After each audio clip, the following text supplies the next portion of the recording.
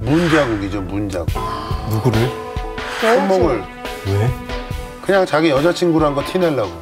본인 손을 문 거예요? 어, 되게 세게 물었다. 저 손에. 본인. 손을 문 거야? 누굴 문 거야? 아니, 여자친구. 고민요, 고민요. 아 여러 번도 물었어. 저 손톱으로 한 거 아니야 저거? 손등 물었다, 손바닥 물었다, 계속 물었어. 어 어떻게 너무 아파 보는데. 아, 보기만 해도 아파. 친구들에게 남친을 소개하는 날이었어요. 식사를 마치고 나오는데 갑자기 남친이 제 손목을 물더라고요. 짜! 아! 뭐 하는 짓이야? 손목에 자국 남았다. 내 이빨 자국. 헐. 이런 미친 아니, 손목을 왜, 왜 물어요? 배고파요? 그냥 애정 표현이랄까? 우리 수기가 너무 이뻐 보여서 저도 모르게 그만 물어버렸네요. 무슨 뱀파이어예요, 뭐요.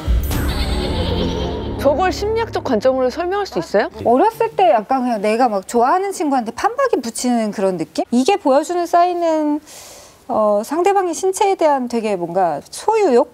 어. 아니, 약간 또 컴플렉스도 좀 있는 것 같아요. 사람들이 보는 앞에서 자꾸 물잖아요. 내가 이 여성분이 여자를 통제할 수 있다. 약간 이런 걸 보여주는 건가? 아니 아니 혹시 이 사람이 자꾸 나를 떠날 수도 있다라는 자신감 결여에서 오는 행동이라고 볼 수 있는 거죠. 물었을 때 이 손이 남아 있잖아요. 한쪽은 물렸지만 화 많이 나셨네. 야, 오버랩으로 가야 돼. 아, 쫙, 아, 쫙. 이렇게 해서 아니면 아프다고 여기 장갑을 끼고 안에 쇠 어. 하나를 이렇게 쇠를 넣어? 아니 반지, 알반지를 이빨이 깎고 이거 우두두 떨어져.